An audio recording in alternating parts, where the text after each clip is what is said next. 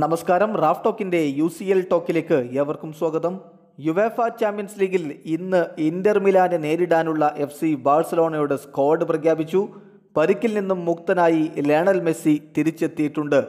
അതേസമയം പരിക്ക് കാരണം ജോഡി ആൽബ സാമുവലും ടിറ്റി അൻസു ഫാറ്റി എന്നിവർ സ്ക്വാഡിലില്ല ബാഴ്സയുടെ സ്ക്വാഡ് ഇതാണ്. Marc Andre Terstegen Nelson Semedo Gerard Pique Ivan Rakitic Sergio Busquets Todibo Arthur Melo Luis Suarez Lionel Messi Ousmane Dembele Neto Lenglet Moussa Wague Antoine Griezmann Alena Sergi Roberto Frenkie de Jong Arturo Vidal Junior ഫിപ്പോ Carles Perez. ഇതാണ് ഇന്ററിനെ നേരിടാനുള്ള ബാഴ്സലോണയുടെ squad ഇന്ന് രാത്രി Indian സമയം പന്ത്രണ്ട് മുപ്പതിന് ബാഴ്സയുടെ മൈതാനമായ cam നൌവിലാണ് മത്സരം നടക്കുക.